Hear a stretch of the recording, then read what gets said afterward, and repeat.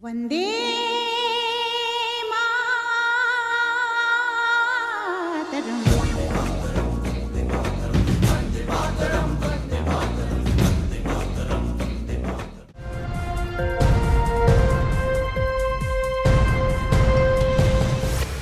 அறுபத்து ஒன்பதாவது குடியரசு தின விழா டெல்லியில் கோலாகலமாக கொண்டாடப்பட்டது.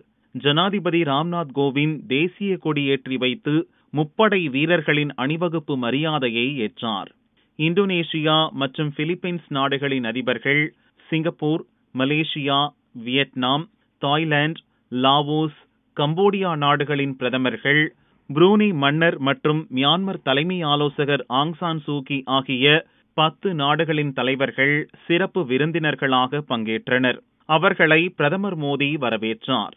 அதன் பிறகு ராஜபாதையில் நடந்த அணிவகுப்பு மரியாதை அலங்கார வண்டிகளின் ஊர்வலத்தை தலைவர்கள் பார்த்து ரசித்தனர். நாட்டின் அறுபத்தி ஒன்பதாவது குடியரசு தினத்தை முன்னிட்டு கவர்னர் பன்வாரிலால் புரோஹித் சென்னை மெரினா கடற்கரையில் தேசிய கொடியேற்றினார். முப்படை வீரர்களின் அணிவகுப்பு மரியாதையை அவர் ஏற்றுக்கொண்டார்.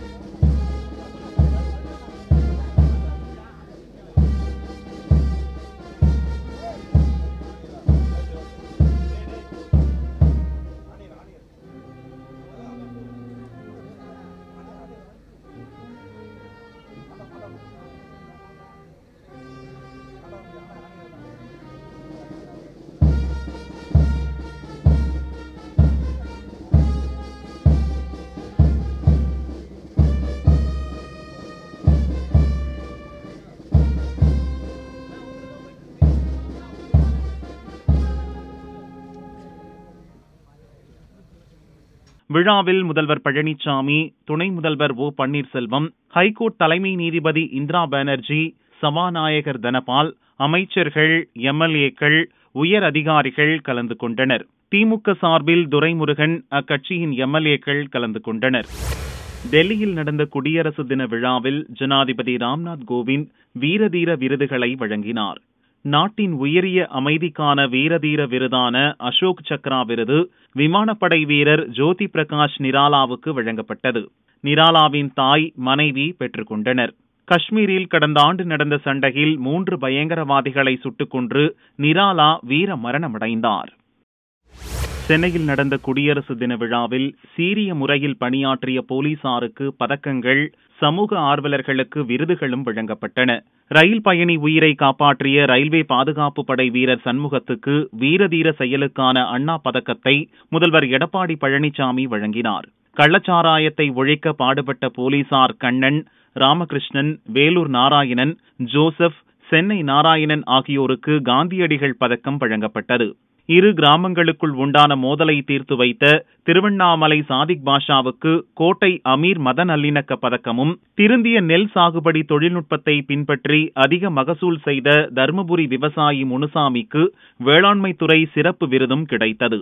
இன்று குடியரசு தினத்தன்று தமிழக முதல்வர்களால் காந்தியடிகள் விருதை நான் பெற்றதற்கு என் வாழ்க்கையிலேயே சிறந்த மிகப்பெரிய பெரிதாக கருதி நான் நன்றாக வேலை செய்வதற்கு இது நல்ல உறுதுணையாக இருக்கும் என்று நான் வாழ்த்தி என் காவல்துறைக்கும் நன்றியை தெரிவித்துக் கொள்கிறேன். டெல்லி ராஜபாதையில் நடந்த குடியரசு தின விழாவில் காங்கிரஸ் தலைவர் ராகுல் ஆறாவது வரிசையில் ராஜ்யசபா எதிர்க்கட்சித் தலைவர் குலாம் நபி ஆசாத்துடன் அமர்ந்திருந்தார். ஏறக்குறைய பொதுமக்கள் அமரும் இடத்தினருகே ராகுல் அமர்ந்திருந்தார். பாரதிய ஜனதா தலைவர் அமித்ஷா மற்றும் மூத்த தலைவர் அத்வானிக்கு ராகுலுக்கு முந்தைய வரிசையில் இடம் ஒதுக்கப்பட்டிருந்தது. ராகுலுக்கு இருக்கை ஒதுக்குவதில் அரசு கீழ்த்தரமான அரசியல் செய்வதாக காங்கிரஸ் செய்தித் தொடர்பாளர் ரன்தீப் சுர்ஜேவாலா கூறினார். டெல்லி ராஜபாதையில் நடந்த குடியரசு தின விழாவில் அணிவகுப்புக்கு பிறகு பிரதமர் மோடி விழா மேடையிலிருந்து கீழே இறங்கினார். எந்த பிரதமரும் செய்யா விதமாக ராஜபாதைக்கு பாதுகாவலர்கள் புடைசூழ வந்தார். அணிவகுப்பை காண கொட்டும் பணியை பொருட்படுத்தாமல் ராஜபாதையில் இருமருங்கும் கூடியிருந்த ஆயிரக்கணக்கான மக்களை நோக்கி உற்சாகமாக கையசைத்தார். இதனால் மக்கள் குதூகலமடைந்தனர். சென்னையில் சீட் பெல்ட் அணியாத மணிகண்டன் என்ற கார் டிரைவரை போலீசார் தாக்கியும் அவமதித்தும் பேசினர். இதனால் மனமுடைந்த அவர் பெட்ரோல் ஊற்றி தீக்குளித்துக் கொண்டார். பலத்த காயமடைந்த அவர் கீழ்ப்பாக்கம் அரசு மருத்துவமனையில் சிகிச்சை பெற்று வந்தார். மணிகண்டன் வெள்ளியன்று சிகிச்சை பலனின்றி இறந்தார். இதனிடையே இந்த சம்பவம் தொடர்பாக போக்குவரத்து எஸ்ஐ தாமரை செல்வன் சஸ்பெண்ட் செய்யப்பட்டார். சென்னையில் நகைக்கடையில் கொள்ளையடித்த நாதுராமை ராஜஸ்தான் போலீசார் கைது செய்தனர். சென்னை போலீசாரிடம் நாதுராமை ஒப்படைத்தனர். அவனை போலீசார் விமானம் மூலம் சென்னை கொண்டு வந்தனர். நாதுராமிடம் ரகசிய இடத்தில் வைத்து விசாரணை நடத்தப்படுகிறது. பஸ் கட்டணம் உயர்த்தப்பட்டதை தொடர்ந்து மெட்ரோ ரயில்களில் பயணிப்போரின் எண்ணிக்கை நாற்பது முதல் ஐம்பது சதவீதம் வரை அதிகரித்துள்ளது. பயணிகளின் எண்ணிக்கையை அதிகரிக்கும் வகையில் மெட்ரோ நிர்வாகம் ஓவிய கண்காட்சி விற்பனை கண்காட்சி போன்றவற்றை நடத்துகிறது. ஆந்திர மாநிலம் துவாரகா திருமலையில் உள்ள வெங்கடேஸ்வரா சுவாமி கோவிலுக்கு அரசு பஸ்ஸில் துணியைச் சேர்ந்தவர்கள் சென்றனர். எரகால்வாய் அருகே எதிரே வந்த லாரி பஸ் மீது மோதியது. இதில் பஸ்ஸின் ஒரு புறம் முழுவதும் சேதமானது. விபத்தில் துணியைச் சேர்ந்த லட்சுமி ஜோதி சிவசாயி சத்யா ஒடிசாவைச் சேர்ந்த சாவித்ரிமா ஆகியோர் சம்பவ இடத்திலேயே உயிரிழந்தனர். விபத்து குறித்து போலீசார் விசாரிக்கின்றனர். தமிழ்தாய் வாழ்த்து இசைக்கப்பட்ட போது திமுக தலைவர் கருணாநிதி எழுந்து நிற்கவில்லை என பழைய வீடியோ ஒன்றை பாரதிய ஜனதா தேசிய செயலாளர் ஹெச் ராஜா ட்விட்டரில் வெளியிட்டார். இதுபற்றி கனிமொழி கூறுகையில் பாரதிய ஜனதா கட்சிக்கும் தமிழகத்திற்கும் ராஜா ஒரு இழுக்கு என்றார். ஹெச் ராஜா இருக்கும் வரை தமிழகத்தில் பாரதிய ஜனதா வளராது என்று சாபம் விட்டார். ராஜா அவர்கள் விமர்சனங்களை மிக தரக்குறைவாக எடுத்து வைக்கக்கூடியவர். அவருக்கு பதில் சொல்றதே வந்து ரொம்ப இழுக்கு என்று நான் நினைக்கிறேன். இப்படிப்பட்ட ஒரு கேவலமான கேள்வியை கேட்பதை விட சும்மா இருக்கலாம். இதுவே வந்து ப- அவரே வந்து பிஜேபிக்கும் இந்தியாவிற்கும் தமிழகத்திற்கும் ஒரு இழுக்காகத்தான் இருக்கிறார். இதுக்கு பதில் சொல்றது என்னுடைய தகுதிக்கு சரியா இருக்காதுன்னு நான் நினைக்கிறேன். அவர் வந்து பிஜேபியில் இருக்கிற வரைக்கும் நிச்சயமாக பிஜேபி வளர முடியாது. குடியரசு தினத்தன்று அரசு அலுவலகங்கள் மற்றும் கல்லூரிகள் பள்ளிகளில் அதன் தலைமை பொறுப்புகளில் இருப்பவர்கள் மட்டுமே தேசிய கொடியை ஏற்ற வேண்டும் என கேரள அரசு உத்தரவிட்டிருந்தது. ஆனால் பாலக்காடு மாவட்டத்திலுள்ள வித்யாச வித்யா பீடம் பள்ளியில் ஆர்எஸ்எஸ் தலைவர் மோகன் பாகவத் தேசிய கொடியை ஏற்றி வைத்து சிறப்புரையாற்றினார். கடந்த சுதந்திர தினத்தன்றும் தடையை மீறி பாலக்காடு பள்ளியில் மோகன் பாகவத் தேசிய கொடியை ஏற்றினார். குடியரசு தினத்தை முன்னிட்டு டெல்லி ராஜபாதையில் இந்திய ராணுவத்தின் வலிமையை பறைசாற்றும் வகையில் அணிவகுப்பு நடந்தது. இந்தியாவின் கலாச்சாரம் மதம் மற்றும் வரலாற்று நிகழ்வுகளை விளக்கும் விதமாக பதினான்கு மாநிலங்கள் ஒன்பது மத்திய அமைச்சகங்களின் சார்பில் அலங்கார வண்டிகள் அணிவகுத்தன. எல்லை பாதுகாப்பு படையினர் பெண்கள் படைப்பிரிவு வீராங்கனைகள் பைக்கில் மிக அற்புதமான சாகசங்களை செய்து பார்வையாளர்களை கவர்ந்தனர். விமானப்படையின் பலவித போர் விமானங்கள் வானில் நிகழ்த்திய சாகசங்கள் பார்வையாளர்களை பரவசப்படுத்தியது. டி நைன்டி பீரங்கிகள் பிரமோஸ் ஆகாஷ் உள்ளிட்ட ஏவுகணைகளும் அணிவகுப்பில் இடம்பெற்றன.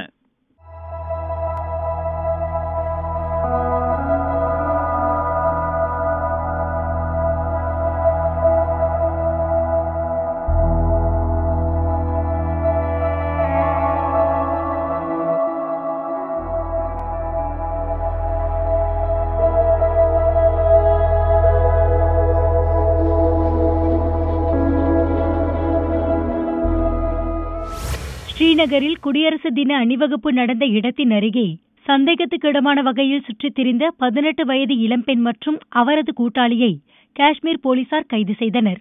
மகாராஷ்டிராவைச் சேர்ந்த அந்த பெண் ஸ்ரீநகரில் குடியரசு தினத்தை குலைக்க வந்த மனித குண்டாக இருக்கலாம் என சந்தேகிக்கப்படுவதால் காஷ்மீர் முழுவதும் பாதுகாப்பு பலப்படுத்தப்பட்டுள்ளது. தென்கொரியாவில் மிரியாங் நகரில் உள்ள செஜோங் மருத்துவமனையில் திடீர் தீ விபத்து ஏற்பட்டது. இந்த விபத்தில் நாற்பத்தோரு பேர் இறந்தனர். பலர் படுகாயமடைந்தனர். மருத்துவமனை முழுவதும் புகைமூட்டமாக காட்சியளிப்பதால் பலி எண்ணிக்கை அதிகரிக்கக்கூடும் என அஞ்சப்படுகிறது.